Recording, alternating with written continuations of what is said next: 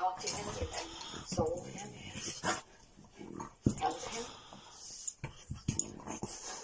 All of the above.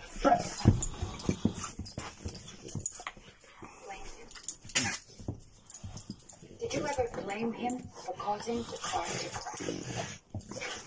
I most certainly did not. Did you ever accuse him of distracting you? Did you ever say to him, No. No? So if Perry would have told me that you blamed him for his brother's death, if Perry would have told me that you punished you even emotionally battered I never him, ever battered him. he told me that you said to him, this is your fault. It is your fault that your brother was killed. If you were to have said that, did you ever, did you ever, Objection, Your Honor. did you ever, ever hear him, did you ever kick Perry? This is right. It's a lie. It's a lie. This is right.